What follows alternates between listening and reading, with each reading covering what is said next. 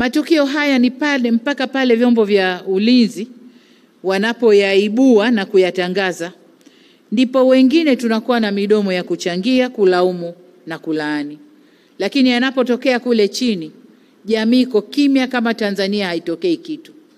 Lakini vyombo vya ulinzi wakiibua, kumetokea hili na hili, tumefuatilia mganga akaenda kutuonesha alipowazika, ameshirikiana na nani, ameshirikiana sijui na pasta na mchungaji, wameenda kutuonesha, watu kadhaa wamefukuliwa. Ndio sasa watu wanaibuka yeye yeye yeye yeye, lakini kabla kuibuliwa hakuna anayesema, hakuna anaye laani. Siku kadhaa zilizopita, ndugu zangu, nchi yetu imepata msiba wa kuuawa kwa mmoja wa kiongozi wa chama cha siasa, chama cha Chadema, kifo kilichosisimua miili na akili za sisi wananchi wa Tanzania na kuibua hisia kali hasa kwa wafuasi wa chama hicho. Katika hali ya kushangaza, kifo hicho kimeleta hisia kali pia kwa wawakilishi wa baadhi ya mataifa ya nje wanaowakilisha nchi zao hapa kwetu. Nataka niungane nao na niseme kwamba kwa sababu yoyote ile mauaji haya hayakubaliki, na ndio maana serikali tulialaani na kutaka, kutaka uchunguzi wa haraka ufanyike, na ndivyo inavyofanyika duniani kote. Baada ya mambo haya kutokea, serikali husimama kulaani na kutaka vyombo vyake vya usalama kwenda na uchunguzi na tujue kilichotokea. Nadhani nyinyi ni mashahidi kwamba kule kwa wenzetu kulikoendelea, kuna mwanasiasa amekosewa kuuawa mara mbili, lakini tulichokisikia ni serikali kutaka uchunguzi ufanyike, na wameanza kufanya huo uchunguzi. Kwa hiyo si ajabu na kwetu mara baada ya tukio kutaka uchunguzi ufanyike, na kazi nimeambiwa inaendelea vizuri. Ndugu zangu wa Tanzania, maisha ya mwanadamu yoyote yule yana thamani siyo mithilika. Huwezi kutia thamani maisha ya mwanadamu, huwezi. Huwezi kufananisha uhai wa mwanadamu kwa ubora wa hadhi ya mtu, kabila la mtu, asili na jinsia, umri au majumui wake, yuko kwenye kundi gani, ni mwanachama wa wapi, anashiriki wapi. Hakuna thamani hiyo kwenye maisha ya mtu. Katika hali yoyote ile, uhai wa mwanadamu ni jambo adhimu sana, na ndio maana uhai wa Mtanzania unalindwa na Katiba ya Jamhuri ya Muungano wa Tanzania kama ilivyoelezwa katika ibara ya kumi na nne ambayo inasema kila mtu anayo haki ya kuishi na kupata kutoka katika jamii hifadhi ya maisha yake kwa mujibu wa sheria. Sasa kwa wote tunaotumikia wananchi katika nyadhifa mbalimbali serikalini, huwa tunapitishana kwenye kiapo cha kulinda katiba ya nchi katika kutimiza majukumu yetu. Sasa nimtake kila mmoja wetu tuwajibike kwa viapo tunavyoapa.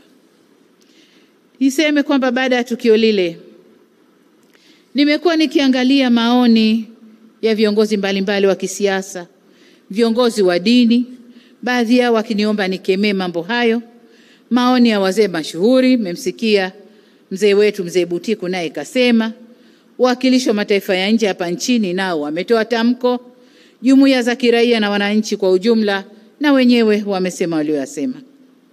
Hisia za makundi yote niliyoyataja.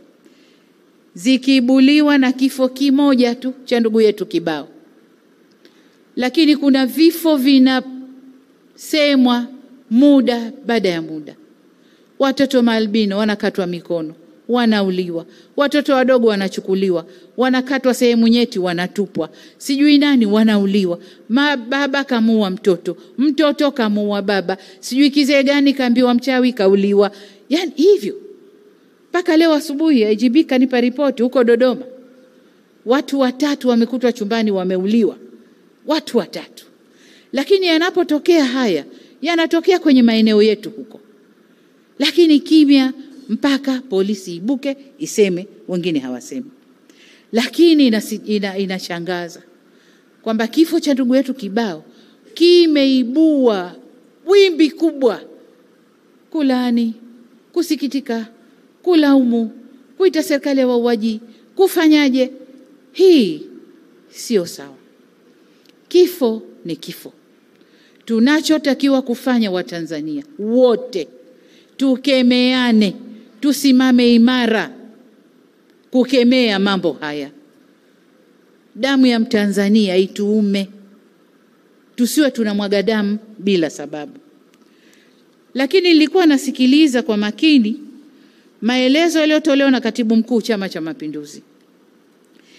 Nimerushiwa na nimeisikiliza vizuri sana klipu ya Mheshimiwa Slaa wa Chadema na vile vile klipu ya yule ndugu Joseph Yona wa Chalinze, wote wakitoa taswira ya mipango ya uvunjifu wa amani inayopangwa na baadhi ya vyama vya siasa.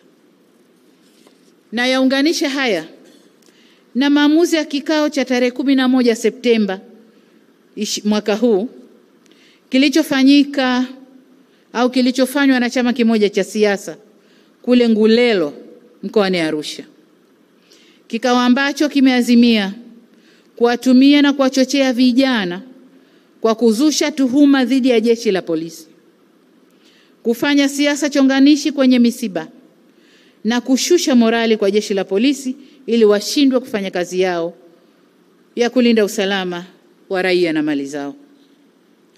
Lakini nashukuru katika kikao hicho hicho mkutano ulibaini na ulitambua kwamba katika uh, kwamba nchi hii ya Tanzania ina intelijensia kubwa na kwamba walipeana onyo wanapofanya mipango yao miovu watumie vyema fursa walioipata kwenye R nne ili mipango ile waseme ah, tumeruhusiwa, falsafa ya R nne imeturuhusu, kwa hiyo wanafanya mipango yao miovu huko. Lakini nawashukuru kwamba wametambua nchi hii na intelijensia kubwa, na ushahidi ni kwamba yote yaliyosemwa kule mimi nayo. Huo ndio ubora wa intelijensia yetu. Kwa hiyo nataka niwaambie vikao vyote vitakavyokwenda kupanga uovu huu, uovu unaopangwa tutaupata. Kumepangwa sijui kushusha moto mpaka Samia aseme basi nimesarenda, naondoka. Hiyo serikali, serikali ya samaki.